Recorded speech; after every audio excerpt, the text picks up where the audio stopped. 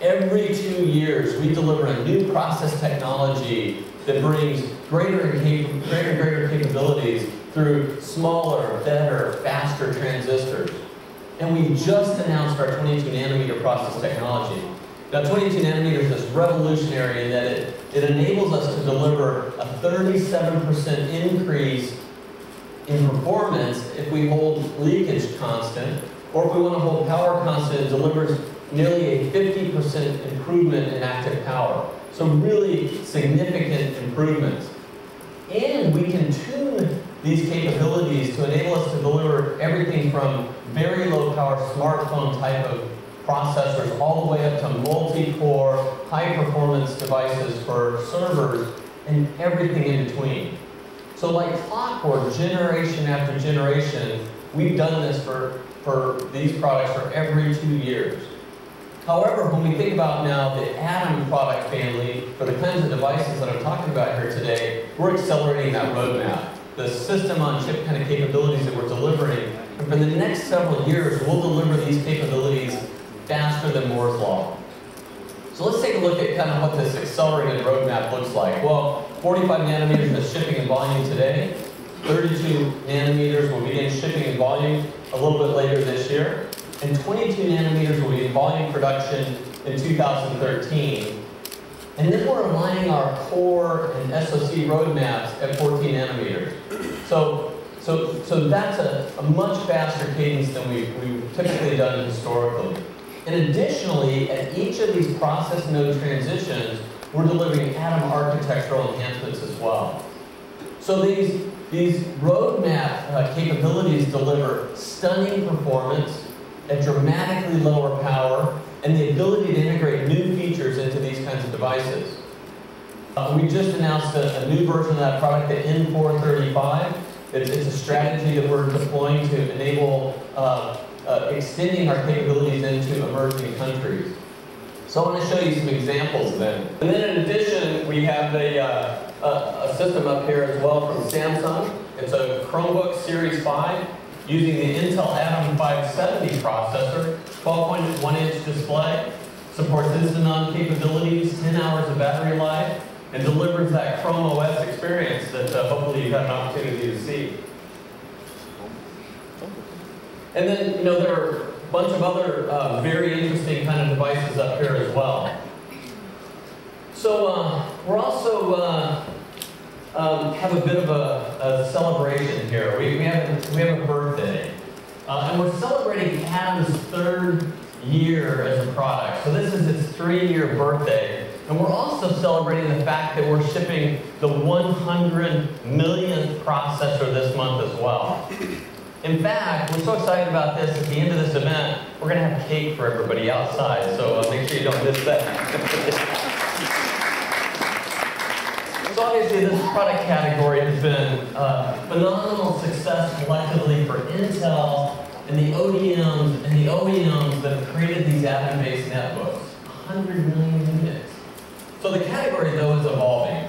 Uh, we're really looking forward to it continuing to evolve and deliver more and more uh, capabilities, but it's also going to become more and more difficult to distinguish between uh, a tablet, a netbook, and even notebooks. So I take a second, I want to look at another product category, and it's the Intel Atom Z670 platform that we formerly referred to as Oak Trail. This was a product that was launched at the Intel Developers Forum in Beijing back in April. And, and we designed this product very specifically with tablets in mind. The package footprint is 50% smaller than the previous Intel Atom 400 series devices. The Z670 supports 1080p video decode. It adds support for HDMI.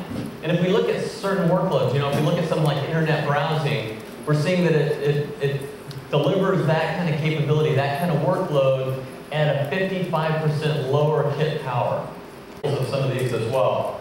So uh, if you notice kind of up on this first row up here, uh, we worked with a number of ODMs on various Z670 designs.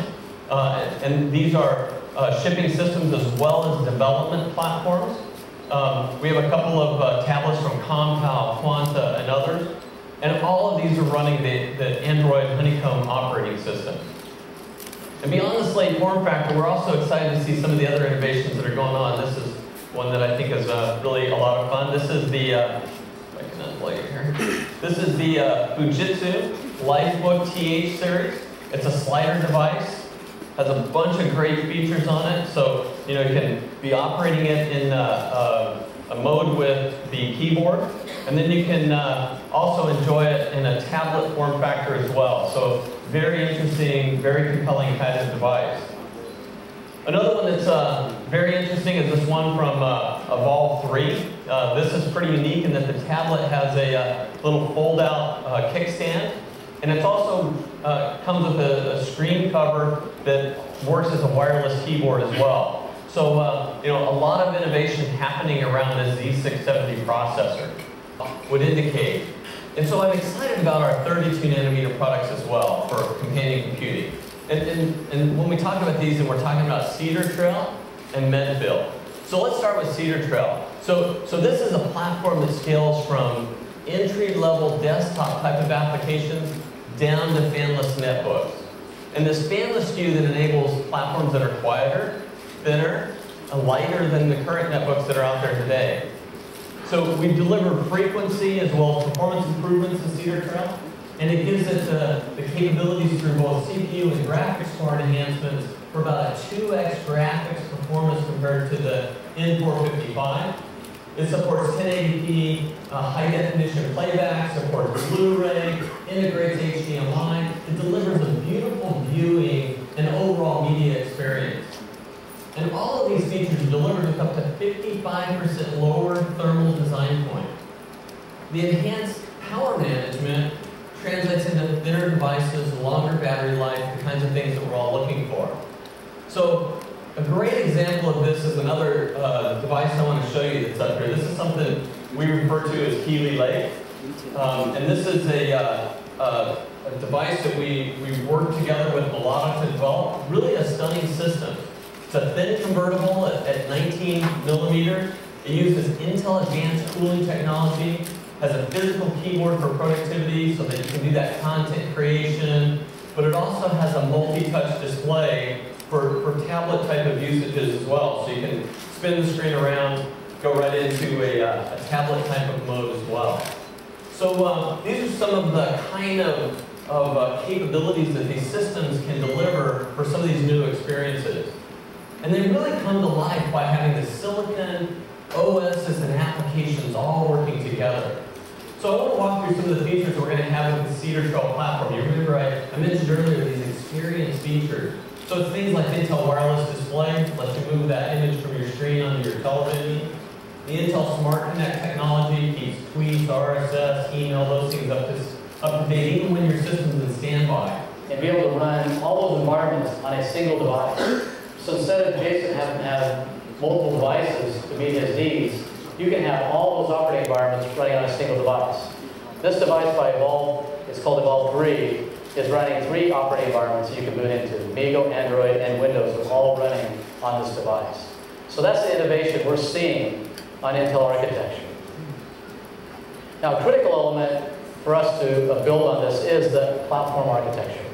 As a software person, Intel architecture gives me that stable, consistent architecture that I can innovate on and optimize. Even to software development. But you'll see, I think this one has the Android Honeycomb operating system running. The pre-alpha build, Windows 7, and MeeGo version 1.2. So again, complete power down, power back up. Um, we also have uh, some work that we've been doing with a company called ViewSonic and a software company called uh, BlueStacks, where they actually let you, it's a Windows 7 based system, but you can run a virtualized uh, Android Froyo operating system on top. So um, both, both operating systems together. So again, Oak Trail this launched in October. Uh, this system is uh, basically available today. Uh, these are really ODM reference platforms, but we can matchmake with OEMs if they're interested in this particular form factor. Okay.